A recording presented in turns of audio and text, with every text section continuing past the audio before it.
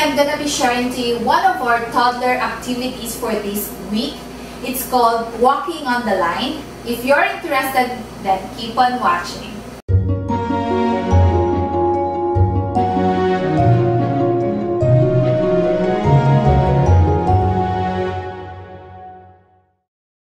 Hello everyone, welcome back to my channel. For those of you who are new here, I am Melai and I am a licensed and a mom to a two-year-old toddler. This is the third episode of our Montessori journey at home and if you haven't watched our previous episodes, you can click the card above or you can check the link in the description box below. But before we start the episode, um, you know the drill. Please don't forget to subscribe and click the notification bell so you'll be notified in my next video. If you watch our videos and follow me on my social media accounts like my Instagram, my Facebook account, you will know that we have been practicing the Montessori at home since Kara was a newborn. I have been reading so many books, e-books. I joined the Montessori community on Facebook. I read blogs of other Montessori mommies and sometimes I attend webinars. However, I still find it lacking. Uh, iba pa rin kasi yung may nakakausap ka na isang Montessori guide or Montessori expert. When, as I was observing Kara, I get to ask myself, am I introducing the correct material? Or am I presenting the right material at the right time and at the right sequence? Kasi uh, sometimes when there's too much information, tendency is na-overwhelm tayo, right? And that's exactly how I felt. Buti na lang, as I was following this thread sa isang Montessori community sa Facebook, nakilala ko si Teacher Anna. Teacher Anna is based in Manila. She's a certified Montessori guide and she's been teaching for over 20 years now. She owns a center as well. It's called 1618 Read Montessori Center. And after I've done my research and talked to her, So I registered Kara sa center nila. Supposedly, it should be a homeschooling setup. We will follow a certain schedule or depending kung ano yung schedule na agrihan namin. And then they will meet virtually. However, I find it na parang hindi siya mag-work for us. Ayoko ng homeschooling setup. So, mas gusto ko pa din yung parang the usual play-based learning na daily routine namin ni Kara yung ipa-follow ko. And I will be the one to observe Kara. I will just tell improvements, kung, uh, kung ano yung mga current interest ni Kara. And then, we will discuss about it. Then, later on, she will send to us through email the detailed activity plan for that week. And then, kasama nun is kung ano yung right na material for that certain period and then how to use it and kung paano siya ipipresent and following the right sequence. I find this arrangement uh, good for us. Kasi di ba nga, one of the core principles ng Montessori method is to follow the child.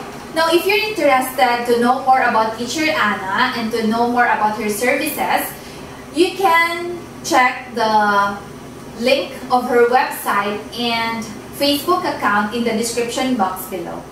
Today, I'm gonna be sharing to you one of our toddler activities for this week. It's called Walking on the Line. Walking on the Line is a practical activity suitable for kids from 2 to 6 years old. This helps a child be aware of his body, coordinate his movements, and improves concentration. All you need for this activity is a chalk or tape and a safe area where you can do the activity. Ellipse is drawn or taped on the floor. Demonstrate the activity to your child and tell him he can have his turn if he likes once you're done.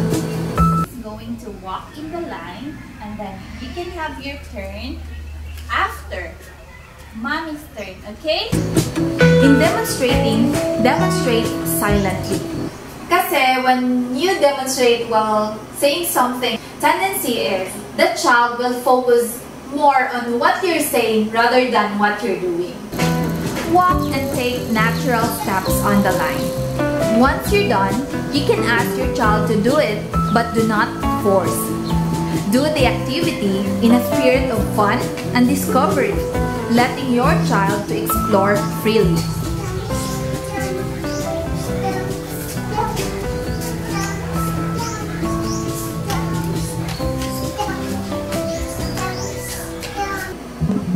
Your child is already doing the activity, make sure not to interrupt nor distract.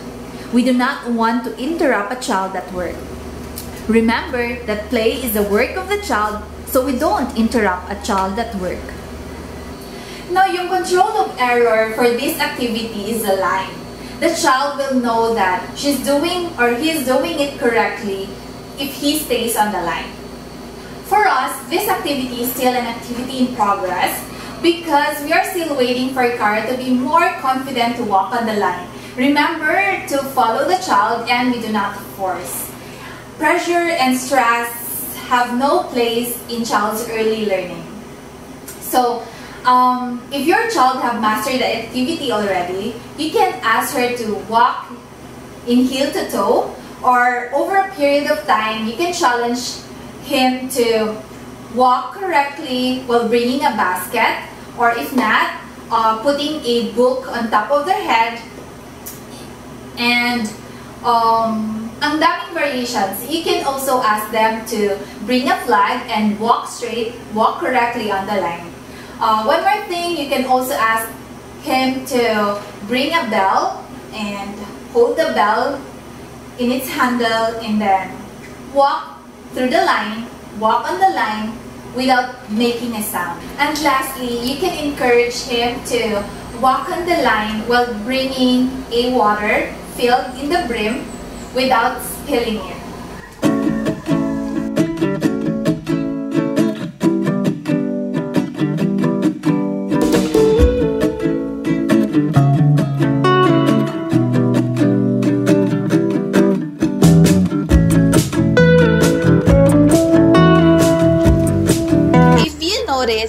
They are not confident yet, it's okay.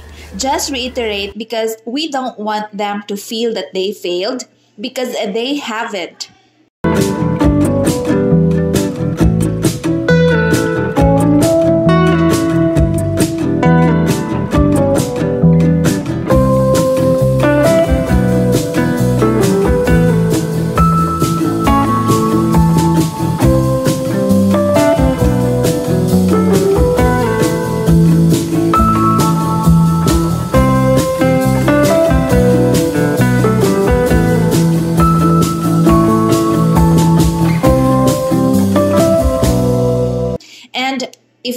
Seem like they're not getting the concept, that's all right.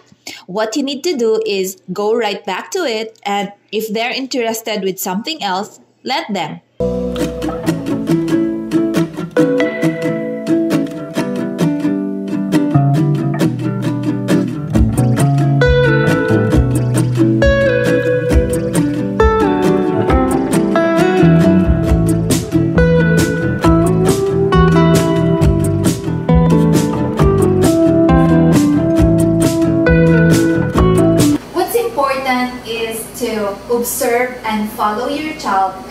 From there.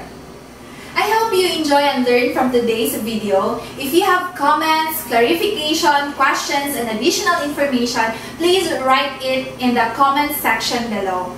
And um, if you want more real-time toddler activities, you can check my Instagram and Facebook account, which I'll be putting the link in the description box below. If you like this video, please give it a thumbs up and don't forget to subscribe to my channel and hit the notification bell icon so you won't miss my next video. Once again, this is Melai. Thank you so much for watching guys. See you again next week. Bye!